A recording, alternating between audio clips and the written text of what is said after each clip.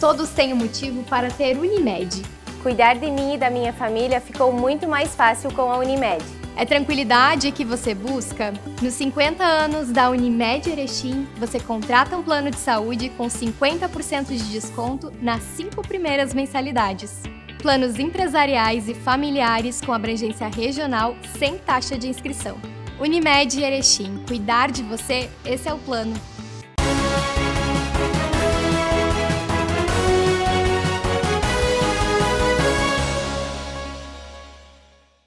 Olá, quarta-feira, 17 de novembro. Confira os destaques desta edição.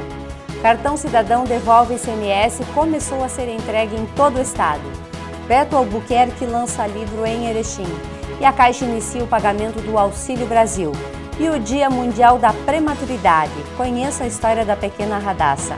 Essas e outras notícias você acompanha agora no Jornal da TV Erechim. Começou a ser entregue na última terça-feira nas cidades gaúchas o cartão cidadão do governo do estado, no qual serão depositados 400 reais por ano do Devolve ICMS, sendo 100 reais a cada trimestre além dos recursos para os cadastrados no CAD Único, que tem dependentes matriculados na rede de ensino médio da rede pública estadual. Hoje nós estamos iniciando a entrega do cartão cidadão, né, do dia 16 de novembro, que é hoje, até o dia 26 de novembro, em todo o estado do Rio Grande do Sul. As famílias que estão cadastradas né, e têm titulares no cadastro único e que fazem parte do Bolsa Família ou que têm dependente na rede escolar municipal, eh, estadual de ensino, né, que tem dependente na rede estadual de ensino, elas têm direito a retirar esse cartão. São 432 mil famílias no estado que podem retirar o cartão. E para saber onde retirar o cartão, elas podem consultar no site www.devolveicms.rs.gov.br que cada é, cidade, cada município tem um local para retirada desse cartão. Em Porto Alegre, especialmente pelo volume de pessoas, pela quantidade, nós estamos organizando toda a entrega aqui no estádio é, Beira Rio, aqui no Gigantinho. Né? E esse cartão vai dar direito ao quê? As famílias que tiverem de posse do cartão, estiverem no cadastro único, elas vão ter direito à devolução de parte do ICMS, né, do ICMS que incide especialmente nas suas compras. Então, são 100 reais que serão depositados a cada trimestre. Ao longo de um ano vai dar, vão ser 400 reais. E a partir do segundo semestre, isso é muito importante que o cidadão é, lembre disso, né, para pedir sempre a nota fiscal e colocar o CPF na nota, porque no segundo semestre, além dos 100 reais que vão ser depositados, vai ter uma, uma parte variável. E essa parte variável dependerá do volume de notas fiscais com o CPF que ela é, tiver pedido. Então, peça sempre o CPF nas notas fiscais. Uh, e esse é o, um dos grandes objetivos do programa. Além disso, o cartão cidadão ele também vai estar conectado com o um novo programa do Estado, o Todo Jovem na Escola.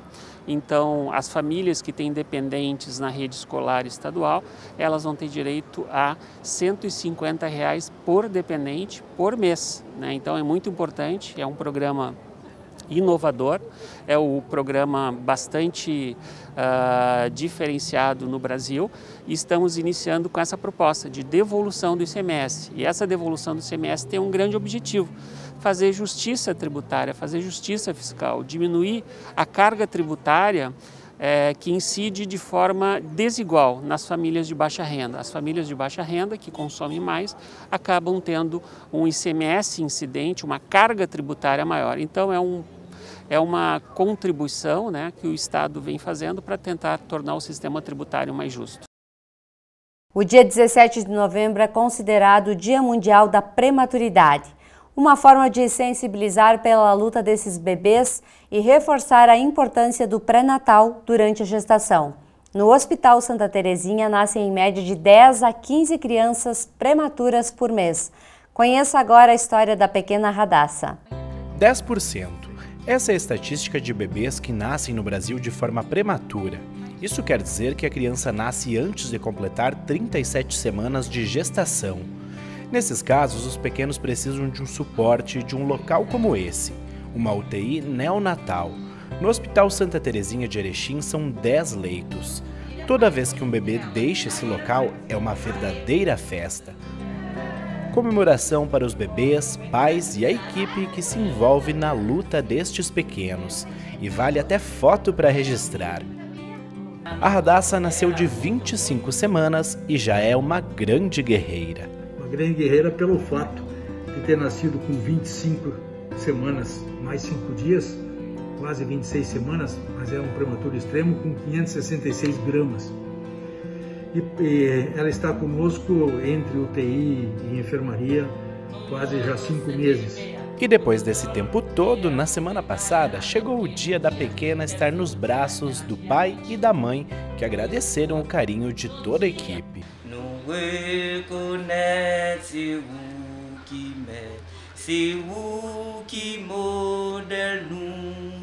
É muito, muito trabalho por elas.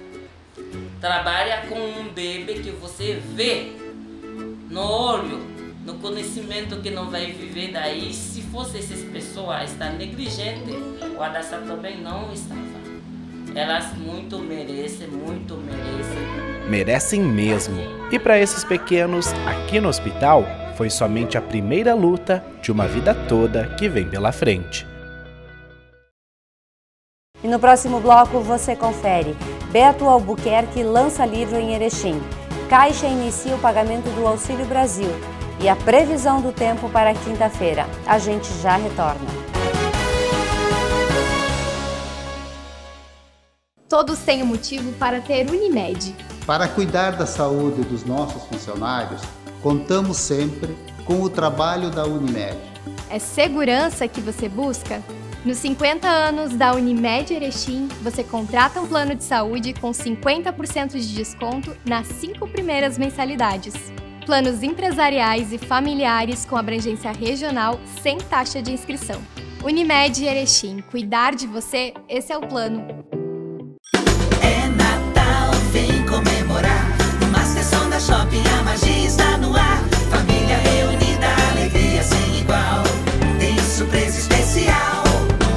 Surpresas de Natal Master Sonda Shopping. Concorra a 5 vales presente de R$ 2.500 para celebrar o Natal com presentes de lojas surpresas do shopping. A cada 50 reais em compras, ganhe um cupom. Master Sonda Shopping. Tem surpresas de Natal. Promoção 40 anos juntos Sicredi Unistados. Vamos celebrar nosso aniversário distribuindo mais de um milhão em prêmios. São quatro Fiat Toro, 53 motocicletas Yamaha e 53 poupanças de dois mil reais. A cada 100 reais investidos em cota capital, você ganha um número da sorte. E pronto, é só torcer. São prêmios incríveis esperando por você. Participe! Sicredi, gente que coopera, cresce.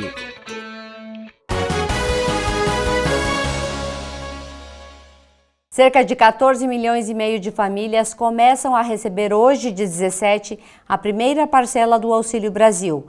As datas seguirão o modelo do Bolsa Família, que pagava os beneficiários nos 10 últimos dias úteis do mês, com base no dígito final do número de inscrição social do NIS. Com o valor médio de 217 reais neste mês, a parcela de novembro começará a ser paga hoje para os beneficiários de NIS com final 1 e terminará no dia 30 para os beneficiários de NIS com final 0. O advogado, escritor e político Beto Albuquerque iniciou na terça-feira uma caravana para o lançamento do livro Liberdade, Igualdade e Humanidade são também nossas façanhas. Depois do lançamento na capital, durante a Feira do Livro de Porto Alegre, o escritor vai percorrer 20 cidades gaúchas de diferentes regiões. O lançamento na capital da amizade aconteceu em um encontro que reuniu admiradores, autoridades e Beto também esteve aqui na TV Erechim e nos concedeu uma entrevista. Hoje nós recebemos aqui na TV Erechim o pré-candidato ao governo do estado, Beto Albuquerque. Ele já é senador, tem uma extensa carreira política. Está fazendo uma visita aqui em Erechim, lançando este belíssimo livro, o qual eu já digo a vocês, telespectadores, todos nós precisamos ler. O título já fala muito do que é o livro, mas é necessário que a gente leia para que a gente tenha uma análise mais compilada do nosso Rio Grande do Sul, do nosso país. Então, fica aí a minha sugestão de leitura. Bem-vindo, Beto. Sandra, é uma honra estar aqui, repartir essa bancada contigo e com essa gigantesca é, de, como eu diria no direito, de telespectadores que tu tens aqui, né, com esse teu competente trabalho que tu fazes aqui no teu programa. Nós temos um público muito qualificado, empresários, médicos, uh, engenheiros, pessoas formadoras de opinião que são nossos parceiros aqui na TV Erechim e nos acompanham que diariamente ótimo. e que gostam de, juntamente conosco, discutir os assuntos pautados aqui nas entrevistas. Que bom. E esse assunto conosco hoje também vai ser, com certeza, pautado muitas vezes com várias pessoas que por aqui passam. Por que decidiste a colocar o teu nome à disposição do partido para concorrer a essa vaga ao Piratini em 2022? Sandra, eu na realidade, eu, eu estou há 35 anos no PSB, é, é meu único partido, estou com 58 anos de idade, já fui oito anos deputado estadual, fui duas vezes secretário de Estado de Transportes e de Infraestrutura, Fui candidato a vice-presidente na chapa da Marina, infelizmente após a morte do Eduardo Campos, lá em 2014. Sim. Eu era candidato a senador na chapa do Sartori e renunciei para ser vice da Marina e ser o porta-voz das ideias que eu ajudei a construir com o Eduardo Campos, que era uma grandiosa liderança e muito provavelmente se ele não tivesse morrido, acho que talvez os destinos do Brasil poderiam ser outros né, hoje.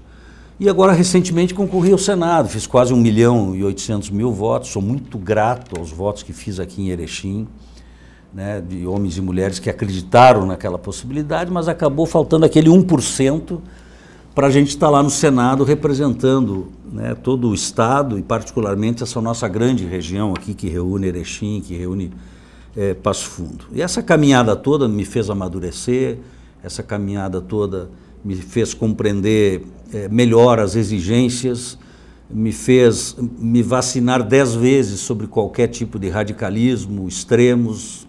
Os extremos estão acabando com o Brasil, estão acabando é, com a conciliação, com o diálogo. Parece que hoje, para você discordar de alguém, tem que brigar antes, e aí a briga chega na família, a briga chega na igreja, a briga chega na corporação, chega na empresa, chega na igreja. Não é possível que a gente alimente num processo democrático como nós sempre defendemos e devemos lutar para que ele prossiga, né, para que haja liberdade de expressão, mas que também haja liberdade de imprensa, né, liberdade econômica.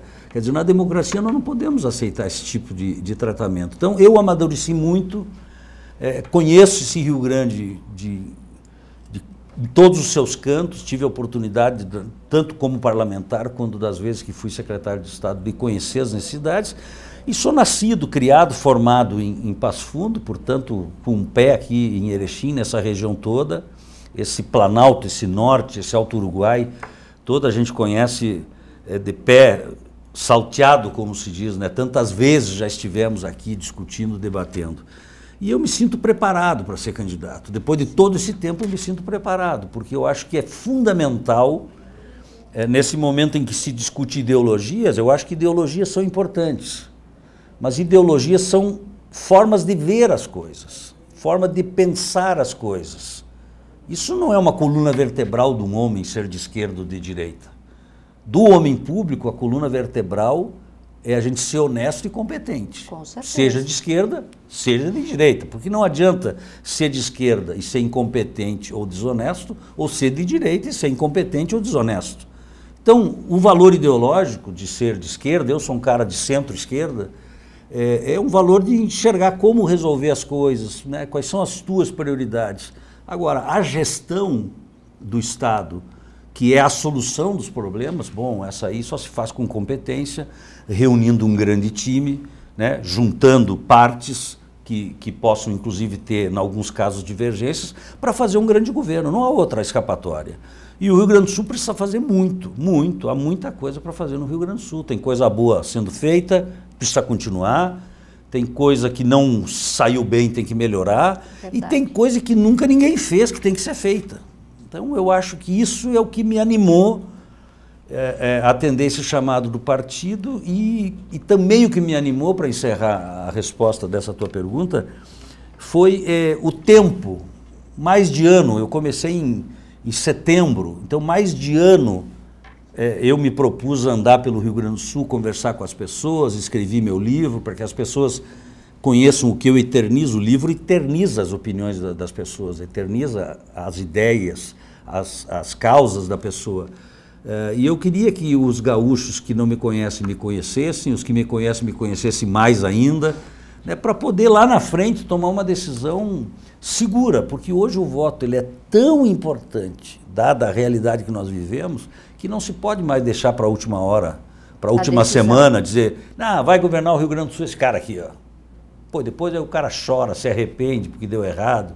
Eu acho que o voto tem que ser uma coisa construída, acompanhando as redes sociais é, per, é, permitem né, que a gente acompanhe, programas como o teu, opiniões como as tuas, permitem que a gente é, conheça e, e, e, construa um voto consciente lá na frente. E o diálogo é uma ferramenta muito importante para uma comunidade mais democrática, para decisões mais é, pertinentes para aquela Super. localidade. O teu livro ele fala, é, o título ele já chama a atenção. São também nossas façanhas. Fale um pouquinho desse livro aí, para a gente já aguçar a curiosidade do telespectador. É, eu lancei o livro aqui em Erechim, né, fiquei muito feliz, uma presença bastante representativa é, da política ou não, também de empresários que estiveram presentes. Eu, eu quando decidi é, fazer o livro, eu digo sobre o que, que eu vou fazer uma discussão. Aí, aí me dei conta que até muitos gaúchos não se lembram mais do que está escrito na bandeira. A gente se agarra na bandeira. A gente se agarra na bandeira, a gente canta o hino como nenhum povo de nenhum outro estado. É. Mas tem três palavras. Tudo bem, foram escritas na, lá na história, lá no positivismo, que é a liberdade, a igualdade e a humanidade. É, e eu acho que a história ela tem que estar no passado, ela é a história. Mas valores que fazem parte dessa história, nós temos a obrigação de trazer aos tempos presentes. Com certeza. Liberdade, igualdade e humanidade, lá nos idos, farrapos, né? tinha um outro sentido. Hoje, no mundo todo, no Brasil, no Rio Grande do Sul, né, tem sentidos muito mais atuais, muito mais desafiadores.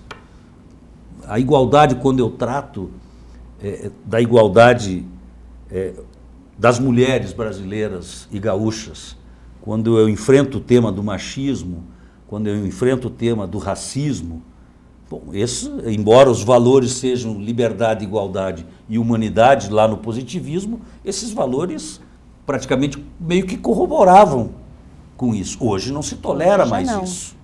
Hoje não se tolera mais que uma mulher tenha o mesmo posto dentro de uma indústria ou de um cargo público e ganhe menos do que um homem porque ela, porque ela é mulher. Então são reflexões que eu faço. Liberdade. Mais do que nunca, a liberdade está em debate. Só que liberdade não é fazer o que se quer, a hora que se quer, como se quer, do jeito que se quer. Não, liberdade tem limites. Não existe liberdade ilimitada. Nunca existiu. Né? Tanto na Constituição quanto na lei, a liberdade tem limites. E eu exemplifico no livro, Sandra, uma sinaleira. A sinaleira tem as cores da bandeira do Rio Grande vermelho, amarelo e verde. É verdade. O que, que diz o vermelho? Para aí que não é a tua vez. A tua liberdade de cruzar a esquina não é tua agora. Amarelo, pensa bem o que tu vai fazer, cara. E o verde, agora é a tua vez. Isso é a liberdade. Cada um tem sua vez, mas tem que saber que tem a vez do outro. E entre a vez de um e de outro tem que pensar para não dar colisão. Então a liberdade hoje, ela não é é, é, do arbítrio do indivíduo. Né? Nós vivemos em sociedade, nós vivemos em comunidade e as nossas liberdades são condicionadas em não se expor é, é, à sociedade, ao não se expor à nossa coletividade. Então, a abordagem do, do debate sobre a liberdade, sobre a igualdade, onde eu trato dos assuntos que envolvem os negros, as mulheres, né? os LGBTQI+, tudo pautas que são, estão presentes no mundo. Fazem parte do Fazem diálogo parte diário. do diálogo diário. Eu, eu digo, eu não posso ser feliz se quem anda do meu lado ou passa pelo meu lado não consegue ser feliz porque não consegue ser aquilo que quer ser. E esta falta de felicidade é desigualdade. E a humanidade hoje é solidariedade, a humanidade hoje é empatia, a humanidade hoje é, é doar-se, a, a, humanidade hoje é o que estão fazendo empresários, é, é, comerciantes, pessoas físicas juntando recursos, alimentos para não deixar ninguém passando fome nas cidades. Isso é humanidade. Isso sim. Só que lá atrás a humanidade era o mundo. A toda a humanidade quer a sua liberdade. Não, hoje a humanidade é humanizar-se. Então no livro eu abordo essas questões, atualizo esses conceitos e também dou uma série de sugestões, de opiniões sobre aquilo que eu acho que o Rio Grande do Sul tem que apostar mais, Sim. né, para não ficar sempre nesse passo de vai um pouco, volta para trás, vai um pouco, volta para trás e aí não tem outra prioridade das prioridades senão a da educação. Pois é, eu ia tocar nesse assunto. Dois pilares fundamentais e que precisamos ter um olhar muito mais aprofundado é a educação e a saúde. No nosso estado, nós precisamos aprimorar tudo isso. Com a pandemia, nós perdemos muito na educação, que a gente vai levar muitos anos, de repente, para recuperar. E como é que a gente deve trabalhar a partir de agora? Não é admissível, né, Sandra, que a pandemia, por ter fechado as escolas, por exemplo, o Estado tenha deixado de fornecer merenda escolar para os alunos. Num momento difícil. Não há explicação para isso. Não há explicação para que durante todo esse tempo, quase um ano e meio, em que as escolas estivessem fechadas, não se tenha feito nenhum concerto nessas escolas. Aí agora tu abre, está chovendo Cheia dentro. De problema o banheiro está quebrado, é. não tem luz, não tem água, a janela caiu. Mas como? Estava fechado, não tinha ninguém dentro. Podíamos ter feito obras, modernizado eh, as escolas. Não fizemos também, perdemos tempo. No Espírito Santo, onde nós governamos, o PSB, para teres uma ideia, sabe como é que funcionaram, funcionaram as aulas? Não foi com tablets, nem com Wi-Fi, eh, que nem sempre o aluno mais pobre tem condições de ter é, nem Wi-Fi, nem tablet, nem smartphone para assistir uma aula. Lá se contratou subcanais de televisão Olha em rede aberta e se montou em todos esses subcanais as séries do fundamental e do médio. E as crianças, os adolescentes e os jovens assistiram às aulas em casa, na sua televisão, porque todo mundo pega uma TV aberta. Com certeza. Se não tem o sinal tem no mínimo uma parabólica para pegar, não era canal fechado. Isso deu super certo, foram dez meses de ensino né, dentro de casa. Isso é inovação. E a merenda escolar continuou fluindo normalmente, o pai ia até a escola buscar todos os meses a soma da merenda dos filhos, Sim. se eram um filho, dois filhos, três filhos, a escola fazia chegar essa alimentação. Então, essas atitudes mais modernas, inovadoras, que de fato se preocupam com esse tipo de questão, são fundamentais. Nós não podemos continuar convivendo, o Rio Grande do Sul, com o primeiro lugar em evasão e repetência, com o décimo segundo lugar de avaliação do IDEB e com o último lugar em oferta de ensino em tempo integral. Em que pese o esforço do nosso professor, da nossa professora, dos nossos pais, muitas escolas estão abertas por causa deles. Mesmo ganhando pouco, foram lá, fizeram concertos para abrir a escola e assim por diante. Mesmo sem reajuste de inflação de sete anos, eles estão envolvidos nisso. Mas a escola tem que receber o investimento de tecnologia, de laboratório de robótica, de laboratório de software, de laboratório de ciências, de laboratório de línguas. Isso será fantástico aos professores, será fantástico aos alunos. Nós temos que preparar o nosso aluno para um mercado de trabalho novo, mundial, que tem ofertas hoje de empregos ultra bem remunerados, sem precisar fazer curso superior, mas não se acha gente que tenha tido essa oportunidade. Então a escola, ela tem que produzir conhecimento, ela tem que desenvolver habilidades que a indústria hoje hoje Necessita, exige de um né? trabalhador. O próprio comércio está cada dia mais inovador. Né? Esse lance do delivery, é, da teleentrega, é, hoje já tem novas denominações, ele está agarrado na inovação. Ele precisa de gente que trabalhe com ele, também compreendendo a importância da inovação. Quem, quem é que faz isso? A escola tem que fazer isso. Nós não podemos transferir responsabilidades para ninguém a não ser as escolas. E é o que eu digo: a minha prioridade das prioridades é reerguer a educação do Rio Grande do Sul. Porque no mundo eu só enxergo países potentes aqueles que investiram em educação Isso e investem até hoje. No Brasil, eu só vejo estados potentes aqueles que estão investindo muito em educação, que estão fazendo guria guria ficar das sete e meia da manhã até as 17 horas dentro da escola, se alimentando, tendo uniforme, desenvolvendo outras habilidades e de forma espontânea, porque a escola de tempo integral não é obrigatória. O aluno tem que querer ficar, mas ele fica. Quando ele começa Se a enxergar. Se for atrativo, ele fica. Quando é atrativo, né? É. Que nem namoro, né, Sandra? É. Quando é atrativo, o cara quer encontrar a namorada de toda novo. Hora. Ou, ou namorada toda hora, ou namorado toda hora. A escola tem que ser atrativa. É. Eu, como aluno, eu tenho que enxergar um futuro, uma esperança dentro daquela escola. Se eu fizer isso, eu não vou evadir. Eu não vou repetir de ano. Eu vou estudar, eu vou me formar, eu quero um futuro para mim. E o pai e a mãe colocam um filho, uma filha numa escola para quê? Porque ele quer que esse filho, essa filha seja melhor que ele, né? tenha mais oportunidades no mundo do trabalho. Eu falo por mim, infelizmente perdi, perdi meus pais agora quatro meses atrás para a Covid, o pai e a mãe, mas o pai e a mãe me deram a faculdade da vida. Mas nunca faltou a eles o esforço para que eu e o meu irmão né, tivéssemos a, a, atrás de oportunidades, de, de conhecimento, de fazer universidade e assim por diante. Então, a educação é o grande desafio. E eu, e eu não acho que isso seja uma coisa a ser resolvida pelo governador não, é conjunto. e os CEPERS.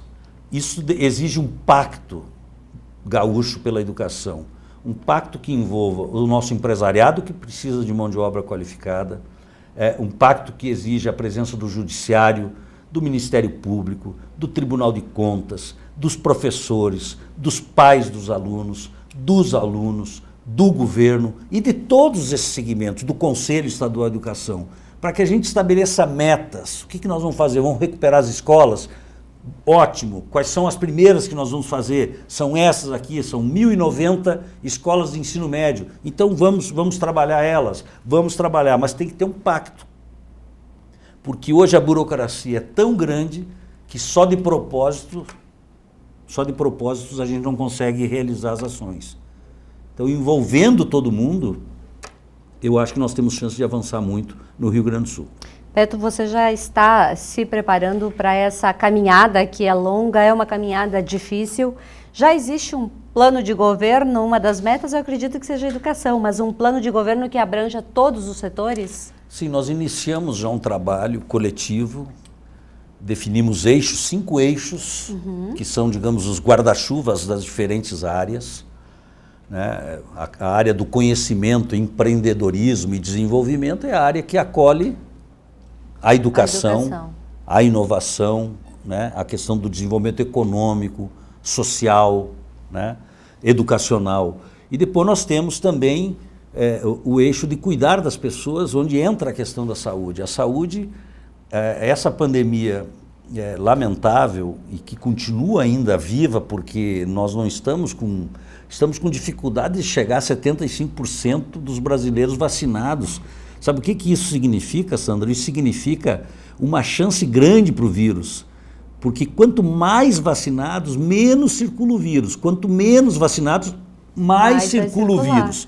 Por que, que antes, quando ninguém estava vacinado, tínhamos os hospitais lotados? Porque o vírus circulava plenamente. Com a vacina começou a diminuir a circulação, mas ainda está circulando o vírus. E o que, que aconteceu nesses um ano e oito meses de pandemia mais forte, sem vacina, ou durante o processo de vacinação? Se formaram filas quilométricas de outras doenças, de outros diagnósticos, de outras cirurgias que não foram feitas. Eu, eu presumo que hoje nós tenhamos no Rio Grande do Sul mais de 100 mil gaúchos e gaúchas esperando é, é, uma cirurgia, um tratamento de câncer, uma, uma prótese, é, enfim, todo tipo é, de patologias que ficaram para trás. Como é, é que a gente resolve isso? Só tem uma forma, mutirão. É o Estado chamar para ele essa responsabilidade, junto com municípios. Todo município, se vai ver Erechim, tem a lista Sim, do que está para trás. Existe Passo espera. Fundo tem a lista. Uhum. né? Aratiba tem sua lista, todo mundo tem. Se tu somares isso com a região metropolitana, eu falei de 100 mil, mas eu acho que é muito mais. Então, esse passivo eh, da pandemia na saúde é o primeiro grande, a primeira grande resposta que precisa ser dada. Bom, ainda temos um governo, que tem mais um ano de governo, mas eu acho que vai transpassar para o futuro governo Essa essa, responsabilidade. essa questão. Como é também o assunto, que é um outro capítulo dos chamados pactos do desenvolvimento, as nossas microempresas. Quantas fecharam as portas? Muitas. Não é razoável deixar a porta da microempresa eh, fechada. E também não adianta mandar microempresário na porta do banco. Pode ser o Banrisul, pode ser Banco do Brasil, pode ser Santander, Itaú. O micro não tem dinheiro de banco, porque o banco pede tanta coisa que se o cara atender tanta coisa que o banco pega, é porque ele não precisa do dinheiro. Então, o banco comercial não serve aos pequenos. Quem tem que fazer o programa? Aportar o recurso no orçamento. O Estado tem que pôr a grana, pôr a grana no orçamento e emprestar sem juros, que é o que a gente faz em Pernambuco, que é o que a gente faz no Espírito Santo. 5 mil reais para me pagar em 60 meses sem juro é uma porta que reabre da microempresa. Às vezes nem precisa 5 mil, precisa 3 mil. E também impede que a microempresa que está por fechar não feche. Então, esse é um outro passivo da pandemia que nós precisamos reagir. Porque é, tem uma palavra que, é- que todo mundo ouve todo dia, o PIB. O PIB sobe, o PIB cai, o PIB cresce. Sabe o que, que é o PIB, gente? O PIB, grosso modo, é o seguinte: 60% do PIB é consumo individual das pessoas. 40% são os setores produtivos. Então, se não tem dinheiro no bolso do cidadão, não tem consumo, não tem PIB, não tem atividade econômica. Eu prefiro ter menos dinheiro no caixa do Estado e mais dinheiro no bolso do gaúcho e da gaúcha, porque aí a atividade econômica vai funcionar, vai gerar emprego, que é o que importa ao Estado. Não adianta o Estado querer arrecadar e o cidadão sem dinheiro para comprar. Quando ele não compra, o comércio não vende. Se o comércio não vende, a indústria não produz. Se a indústria produz menos, quem vende a matéria-prima também deixa. É uma cadeia, é né? uma cadeia que faz a gente andar para trás. Então, o PIB do consumo a gente tem que viabilizar com essas iniciativas que não são proibitivas, não são impossíveis, mesmo o Rio Grande do Sul vivendo é, é, uma crise estrutural que já vem de longe, você tem que eleger prioridades. Você tem que eleger prioridades. É, hoje as pessoas me dizem, pô, mas você está falando aí que, que dá para re reajustar ou repor um pouco a inflação é, dos professores no Estado? Sim, eu estou falando isso. Porque houve uma série de mudanças, tiraram uma série de benefícios dos servidores públicos do Estado, com esse lance de é, corta direito, enxuga isso, bota teto, choque fiscal, arroxo fiscal. Passou essa fase, agora nós temos que começar a fazer algumas entregas. A folha de pagamento do Rio Grande do Sul, que crescia ao redor de 3, 4% de forma vegetativa, não precisava acontecer nada para ela, crescer 3, 4%, hoje ela não cresce mais. Bom, está aí o espaço fiscal para a gente poder retomar, não é resolver tudo o passado, mas retomar algum nível justo, decente de valorização aos nossos professores e professoras. Então, nós estamos trabalhando sim o programa de governo, que vai ser, digamos, um programa de compromissos com os gaúchos na infraestrutura, na energia, no desenvolvimento local, regional, nacional, na atratividade de empresas. Eu vejo que o Estado fez mudanças no Fundopem, mas eu, eu, eu sou um cara ainda mais ousado. Eu acho que nós temos que ter uma lei parecida com Minas Gerais, que ela é mais ofensiva, uhum. ou mesmo do Espírito Santo, naquela linha que eu acabei de dizer. Sim. Eu não quero dinheiro no bolso do Estado, eu quero dinheiro no bolso das pessoas.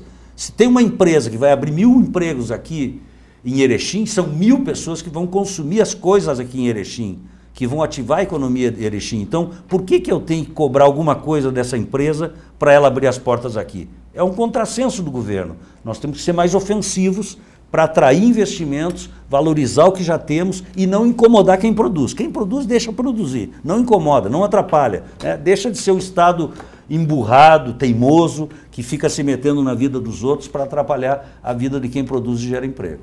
Nessa caminhada que se inicia daqui a pouco, já se fala nas coligações, coligações que pensem semelhante ao que tudo isso que você está propondo, que não venha com ideias que não, não combinem com as suas ou a do partido? Eu tenho dito, Sandro, o seguinte: nós temos uma eleição presidencial, né? Também. Também, vai ser uma peleia grande. Então, quando, quando você tem uma eleição presidencial e as estaduais juntas, né, de quatro a quatro anos acontece isso, as coisas são se interferem muito, mas eu quero deixar bem claro. Eu apoiarei no meu palanque do Rio Grande do Sul quem me apoiar. Não adianta ter arranjo com a direção nacional do PSB para apoiar X candidato. Se X candidato, X partido não estiver comigo aqui, não, não estiver sintonizado com o meu programa, não tem apoio. Tem que ter reciprocidade, nós temos que ter respeito. Né? Isso não é tomar lá da cá, não. O PSB já disse. Né?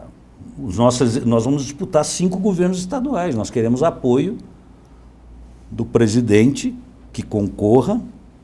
O próprio Lula, por exemplo, se apresentou ao PSB pedindo apoio ao PSB. O que o PT soube de nós é isso.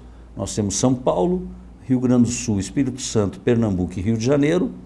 Tem o Acre também que são os estados onde vamos disputar governo. Queremos o apoio de vocês, senão não vamos fechar negócio, não vamos bater não martelo como, nessa né? coligação, porque é, essas são, são ideias que precisam se conjuminar. Bom, nós temos diálogo com o PDT, que é um partido que eu, inclusive, tenho muitos amigos, tenho muito respeito, o Ciro eu gosto muito também.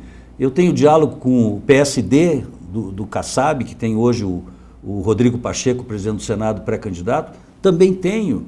Quer dizer, Solidariedade, o PROS, o Avante, o, o Cidadania, o PCdoB, são partidos com quem eu estou conversando. Eu estou conversando com o leque mais aberto possível e me dedicarei, Sandra, à exaustão, pelo diálogo, para construir uma boa unidade que me permita fazer um grande governo. É isso que eu preciso fazer. Eu prefiro ter menos é, é, partidos se isso me causar problema, né? mas é óbvio que se eu conseguir ter muitos partidos para a gente fazer um grande time, tem que ter um grande time, a fim de fazer, não a fim de enrolar, a fim de fazer, bom, nós vamos fazer. Então, eu sou um cara de centro-esquerda, né? nunca gostei dos extremos, acho que os extremos só dividem, os extremos só é, é, polemizam, os extremos não resolvem problemas. Então, eu sou um cara de centro-esquerda, eu consigo sentar com gente de centro-direita sem nenhum problema, mesmo que ele não concorde comigo, eu tenho obrigação de ouvi-lo. E às vezes a gente pode aprender com alguém do outro lado e vice-versa, e vice-versa. Então nós precisamos de diálogo, senão a gente não vai resolver metade dos nossos problemas, quem dirá todos os problemas. Com certeza.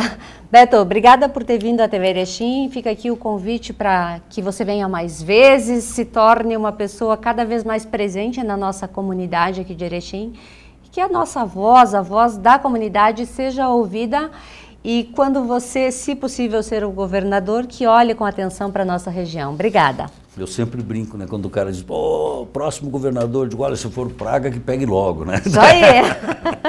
Não, Sandra, vai ser um prazer sim voltar aqui e eu estou andando agora com o lançamento do livro, vou percorrer até o final do ano é, as 20 maiores cidades do Rio Grande do Sul. Depois da Feira do Livro de Porto Alegre, eu, o primeiro município que eu venho é Erechim. É, no mesmo dia, Passo Fundo.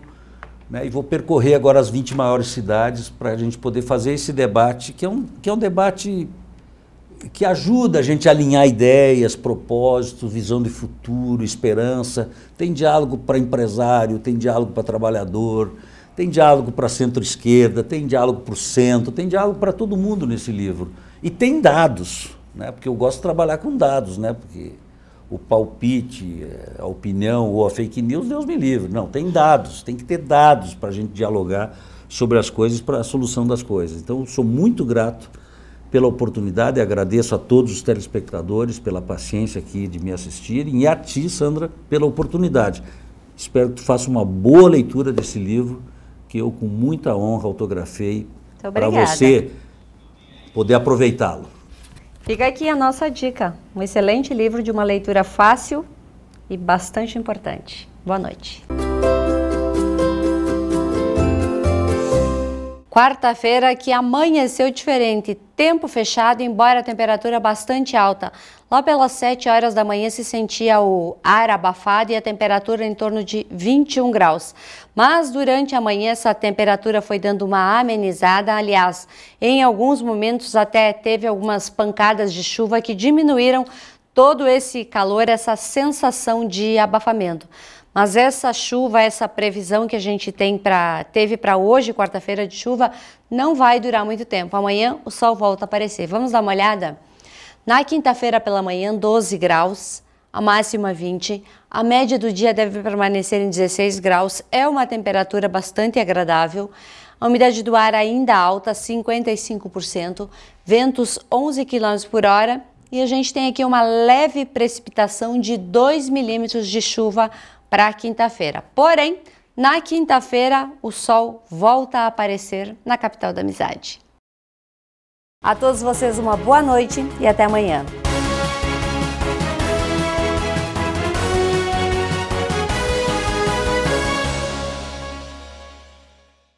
Promoção 40 anos juntos Sicredi Unistados. Vamos celebrar nosso aniversário distribuindo mais de um milhão em prêmios.